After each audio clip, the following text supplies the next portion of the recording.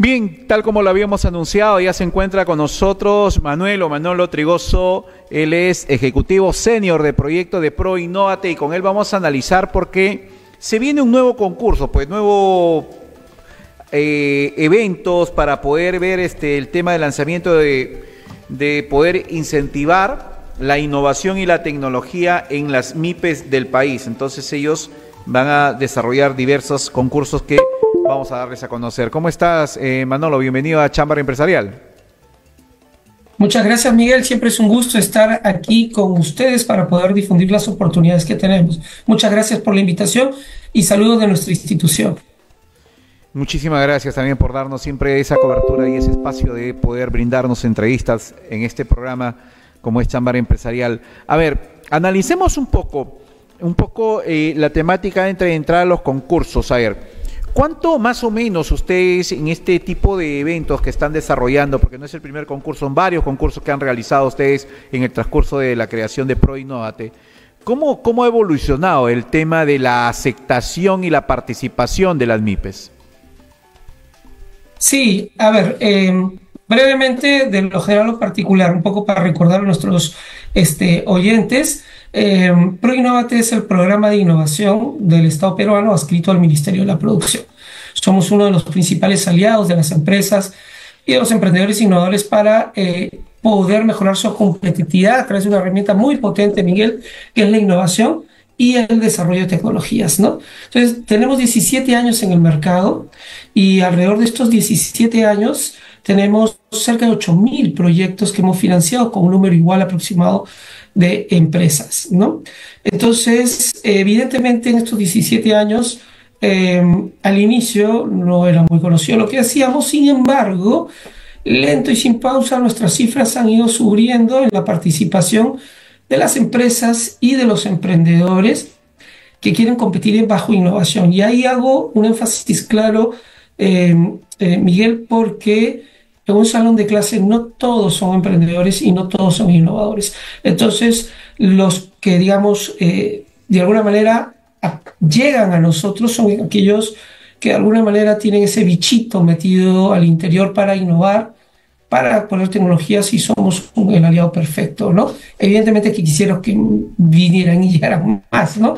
Sin embargo, hay un efecto natural, eh, como digo, en un salón de clases, haciendo un símil, eh, con eh, el tema de emprender y hacer negocios en base a innovación. A veces no todos los tenemos, no todos tenemos ese ADN, pero parte de nuestro trabajo es también evangelizar para que en ese salón de clases sean, ¿por qué no todos los que pueden innovar? Ahora, por ejemplo, en, este, en este plazo que ustedes están manejando bastante el tema de la innovación, eh, más o menos, ¿Cómo le ha cambiado la vida a los proyectos que han sido ganadores, digamos, a los proyectos que han recibido un incentivo de, dinero por parte de ustedes? Sí, gracias por la pregunta. Mira, eh, nosotros tenemos una línea que es llamada Startup Perú. La línea Startup Perú es para el nacimiento de nuevas empresas, pero de base tecnológica de base innovadora, no emprendimientos por necesidad, sino emprendimientos por oportunidad. Entonces, en esta línea de Startup Perú, que es, damos capital semilla para el nacimiento de este tipo de empresas con base en tecnologías e innovación, más o menos son poco más de cerca de mil proyectos. Eh, nosotros en un último estudio, nosotros hemos podido registrar que eh, más del, digamos, ha aumentado más de 100% las ventas de aquellas empresas que han nacido bajo esta línea. Tenemos cifras de más del 60% de generación de empleo o incluso cerca del 40% de los mejores salarios. O sea, tenemos empresas que han eh, nacido con este capital semilla, donde no hubiera sido posible en duplicar sus ingresos, en mejorar eh, el porcentaje de empleos que han creado y, em, em, y la otra cifra interesante respecto a la mejora de los salarios, ¿no? O sea, mejores salarios, mejora de empleos y, eh, y ventas, con cifras que superan el 50% en estas tres dimensiones, ¿no? Ahora, estas de, de eh, después del, del tema de poder lograr y determinar cuáles son los proyectos que van a acceder a los premios, digamos así. Eh, ¿Hay un seguimiento para ver qué tan sostenibles se han mantenido durante el tiempo? Nosotros, gracias Miguel, eh, nosotros nuestra intervención sobre todo está en, el hecho de eh, proponer una oportunidad de financiamiento. Una vez que son evaluados y tienen la posibilidad de tener el financiamiento, nosotros los acompañamos durante la vida del proyecto.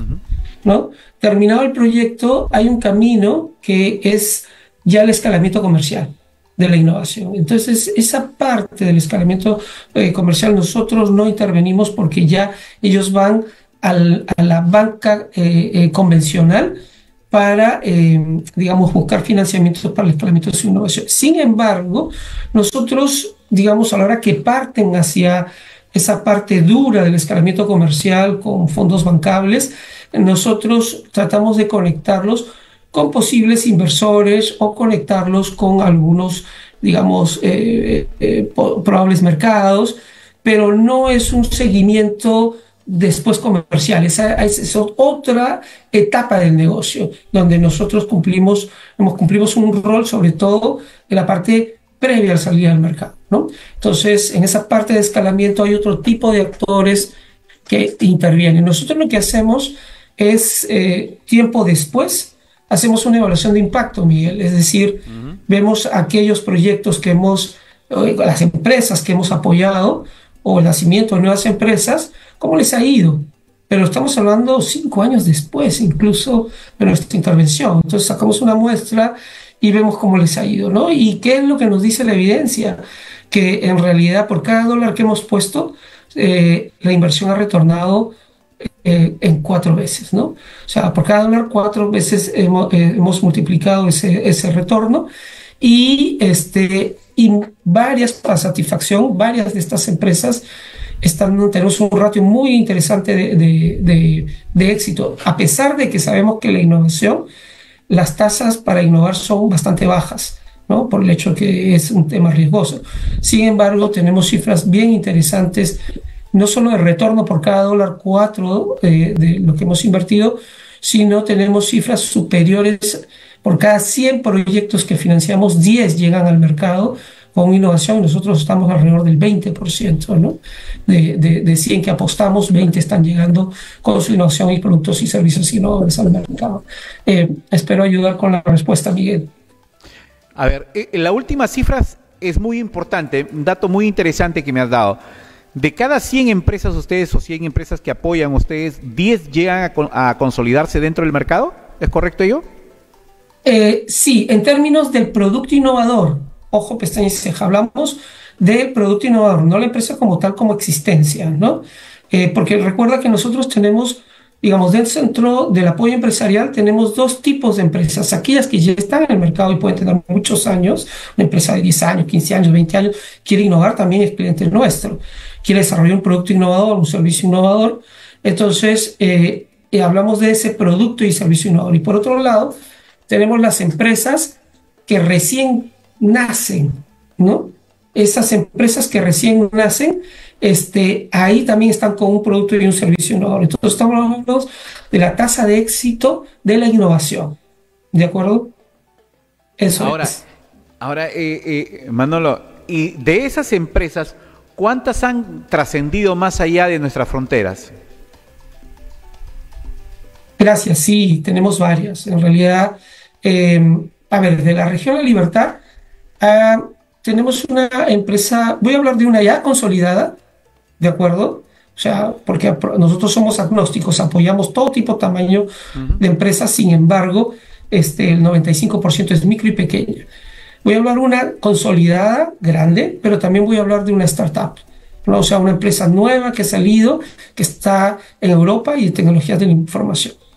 Eh, esta última es Cipli, es un, eh, un emprendimiento de base tecnológica eh, que nació en la incubadora de la Universidad UPAU.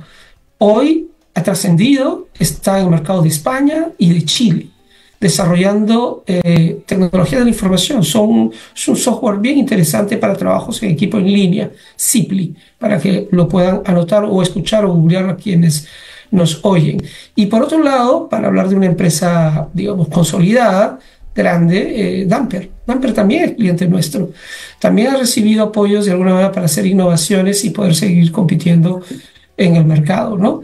Eh, el caso, por ejemplo, de, eh, el desarrollo de, em, digamos, de tecnologías en, campo para la mejora del riego o la mejora de la mecanización. Se han desarrollado una serie de tecnología de la información con sensores para poder mejorar la eficiencia de riego o de la mecanización agrícola en sus fondos, ¿no? Ha sido a través de desafíos de innovación, eh, de, innovación abierta que se convocaron a startups de todo el mundo, ¿no? Para ayudar a solucionar. Entonces ahí hablamos de dos casos concretos, una que está internacionalizada para que se mantenga y otra que ha nacido desde cero aquí en la región y hoy está en los mercados de España y de Chile.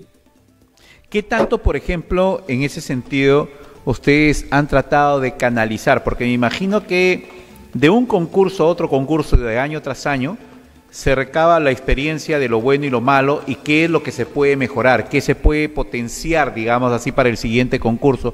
¿Qué es lo que en este concurso trae, trae algún tema de innovación, algún tema de cambios que en la regla del juego, digamos, en la evaluación que se está haciendo para poder hacerlo más competitivo, digamos, a los proyectos? Gracias, Miguel. Justo eh, en la yema del tema este segundo semestre, eh, tenemos que también nosotros como, como una agencia de innovación también innovar, por decirlo así, hacer mejoras para nuestros clientes, que son la gente que quiere eh, crear empresas o mejorar sus negocios.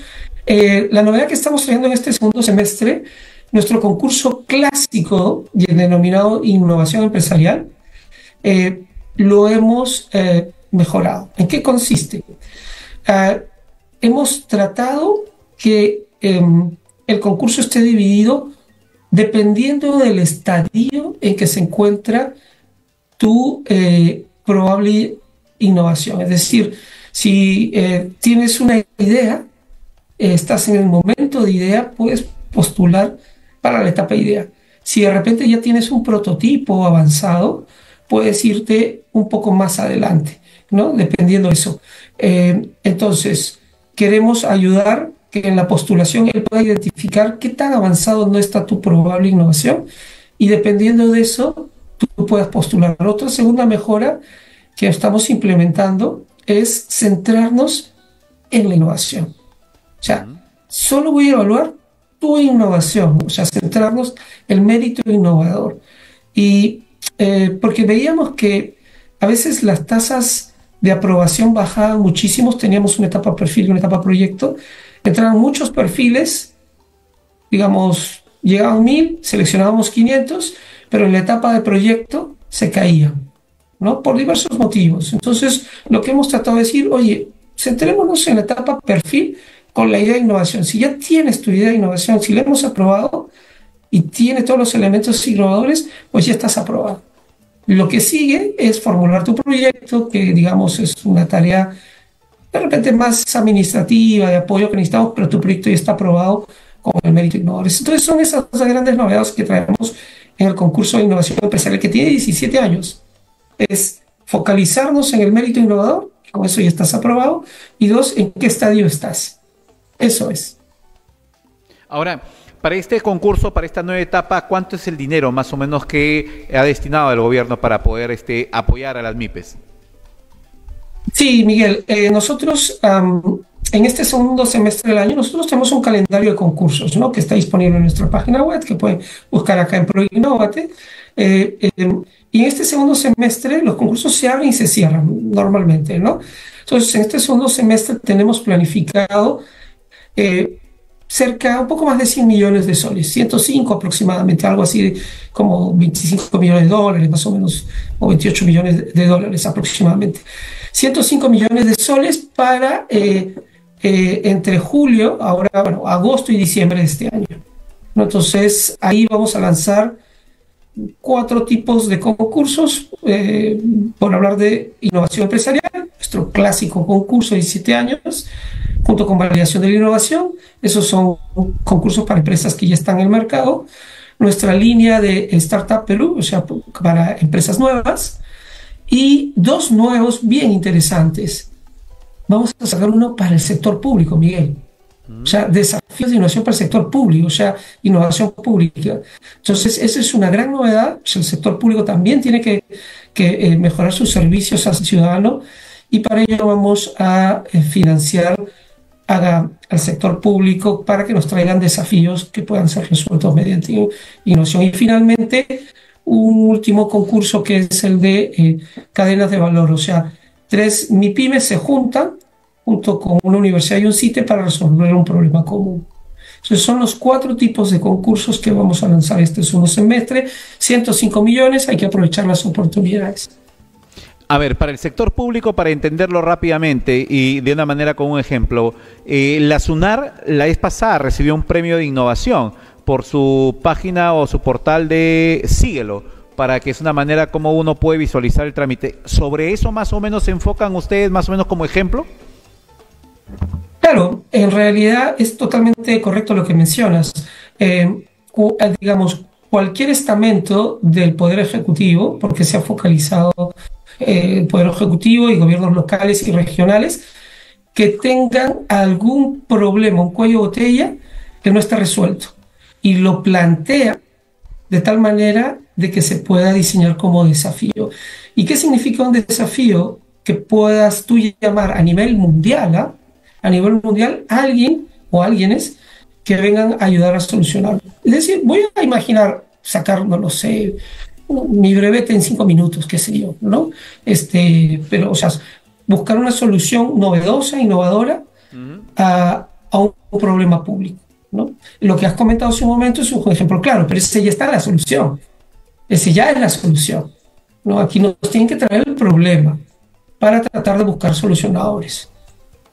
No, claro, yo lo ponía como ejemplo porque en una, en una época cuando recién lanzaron como novedad, recibió un premio, creo, una distinción por, la, por el aplicativo cuando recién estuvo. ahora, lógicamente, ya es parte ya del, del, sistema de la SUNAR, entonces no es nada, dejó de ser novedoso para convertirse ya en una, en una parte ya que, que se desarrolla, pues que, que, la gente ingrese y puede seguirlo. Ahora, es un buen ejemplo. primera vez es un buen ejemplo. un concurso para las instituciones del Estado? Eh, en, el caso, en el caso nuestro, sí, directamente sí. Es eh, concurso de desafíos públicos eh, innovadores, ¿no? Entonces, aunque tenemos un precedente para el caso nuestro, hace algunos años atrás tuvimos una experiencia junto con el MIDIS, estoy hablando hace unos cerca de ocho años, nueve años, hicimos innovación social. Es decir, por encargo, el MIDIS nos pidió eh, el MIDIS identificó, es algo muy similar a lo que va a ocurrir ahora, pero eso fue muy, muy acotado, ¿no? Fue un convenio, tuvimos, el MIDIS nos dijo, nosotros como manejamos la innovación, tenemos los protocolos, los procedimientos y teníamos el fondo.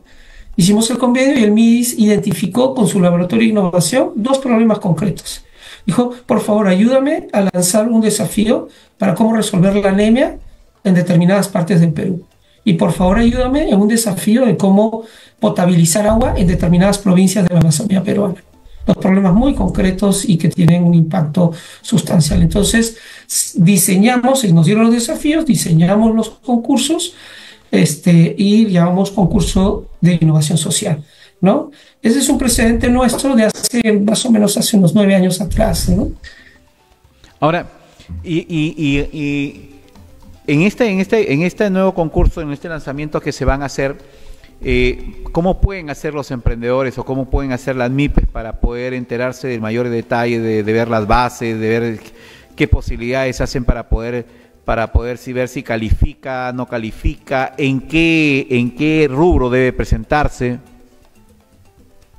Sí, mira, la manera más fácil eh, es en nuestro calendario. Un ratito, si tú me permites, te lo puedo dejar para que tú lo pongas en tu calendario Pro Innovate. Eh, pueden googlear y poner calendario Pro Innovate. Em, muy rápidamente los va a mandar a nuestro calendario, donde em, eh, pueden ver ahí mismo en ese calendario las fechas de lanzamiento y de cierre. Te estoy compartiendo para que luego tú puedas ponerlo en tu web respectiva, ya te lo mandé por el chat.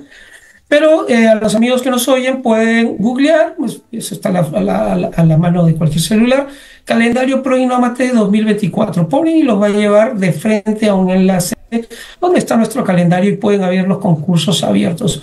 Pican en el que es de su interés, por ejemplo, no sé, innovación empresarial. Ah, calendario. Correcto. Entonces pican encima y los va a llevar de frente al concurso con todos los datos, ¿no? Ahí está un resumen, el beneficiario, los datos, eh, eh, quiénes, requisitos mínimos, cuánto se da, y más detalle está ahí para descargar las bases del concurso, preguntas frecuentes, en fin, toda la información necesaria que puede, eh, que escapa al tiempo que tenemos acá, ¿no? Este, ¿qué es la recomendación? tratar de que haga match lo que ustedes buscan con lo que busca el concurso. ¿no? Este, es probable que eh, eh, tengan un problema es totalmente necesario, pero a veces ocurre que no calza con el objetivo del concurso, ¿no? Entonces hay que tratar de buscar el match, que haga enlace, ¿no? Eh, que haga este link entre el objetivo del concurso y su necesidad específica, ¿no? Entonces reitero, Miguel, rápidamente tenemos desafíos públicos para el sector público, el de eh, eh, un problema común de MIPES, un problema común de tres MIPES de cualquier sector productivo, ¿no? que se puede unir con una universidad y, y, CITES, siempre para innovar. Este, el desafíos públicos también es innovación, pero para el sector público. El tercero es la línea Startup Perú, o sea, Capital Semilla. Ese es para empresas nuevas, ¿no? O nacimiento de nuevas empresas. Capital Semilla para emprendedores. Y el tercero es innovación empresarial, perdón, el cuarto es innovación empresarial o validación de la innovación, que es para las empresas ya constituidas, ¿no? De cualquier rubro, de cualquier tamaño, bueno, no cualquier tamaño, ahí es micro, pequeña y mediana, ahí están exceptuadas las grandes, ¿no? Entonces esas cuatro Está muy potente el segundo semestre, es innovación pura y dura, desde nacimiento de empresas nuevas hasta el sector público, hasta las empresas constituidas. ¿no? Hay que aprovechar las oportunidades. Es financiamiento, financiamiento, ¿no? Es dinero de frente a la vela. ¿Hay algún tope, hay algún tope máximo, tope mínimo más o menos del financiamiento que se van a realizar? Sí, eh, rápidamente, a ver, para el caso, bueno, innovación pública de repente lo dejo un poquito de lado porque quizás los que nos escuchan son más empresarios o emprendedores. En la línea de Startup Perú, este, eh, eh, el capital semilla va de 60 mil hasta 140 mil soles. Tenemos dos tipos de semillas, semilla 1, 60 mil soles, y semilla 2, que es 140 mil soles. Tiene un nombre, innovación empresarial, perdón, se llama Emprendedores Innovadores, que es semilla 1 60 mil, y emprendedores dinámicos, que es 140 mil. Sea cual fuera, si tú ganas en cualquiera de los dos, te vas a una de nuestras redes de incubadoras, ¿no? Este, para que te apoyen en, ese, en esa incubación de tu negocio. En el caso de innovación empresarial, em, eh, eh, los montos son más eh,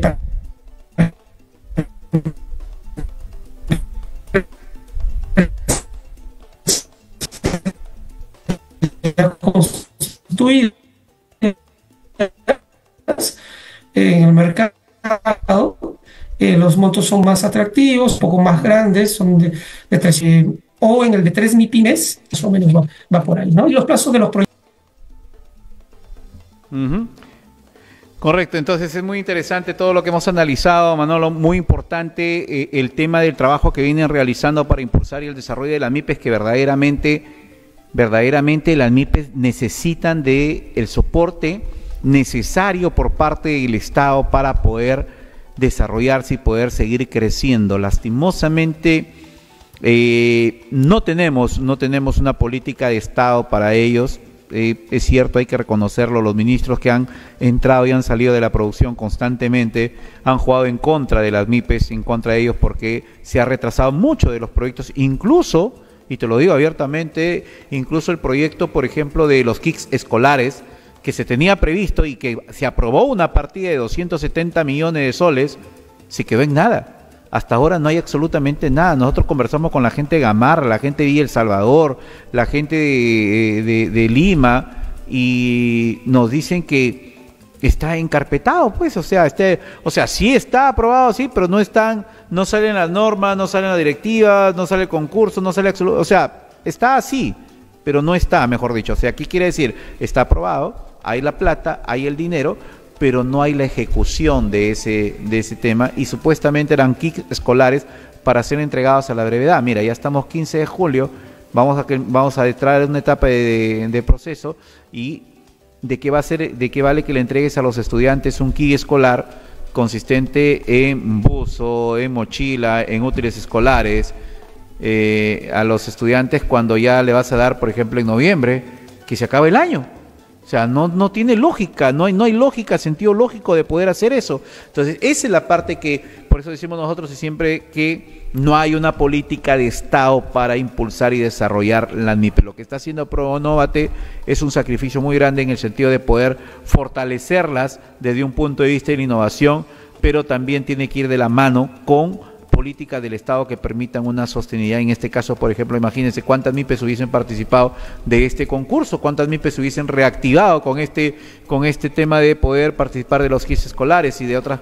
Y se habló también de, ofrecieron cuatro millones de calzado, me acuerdo el anterior presidente, cuatro millones de calzado y se quedó en nada. O sea, de ese tipo de, ofrecimientos es un poco lo que, eh, digamos, hace ver que no hay un trabajo sostenible en el sentido de las MIPES y que esperemos nosotros que eso se dé revuelta y se, se dé una solución definitiva para poder sacarlas adelante, porque las MIPES, quieran o no, les guste o no les guste las medianas y a las grandes empresas, es lo que sostiene prácticamente la economía interna del país.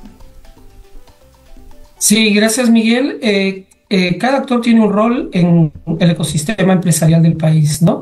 En el caso nuestro, tenemos 17 años en el mercado. Eh, a Dios gracias, tenemos una política continua que va más allá. Es una política de Estado, el tema de la innovación.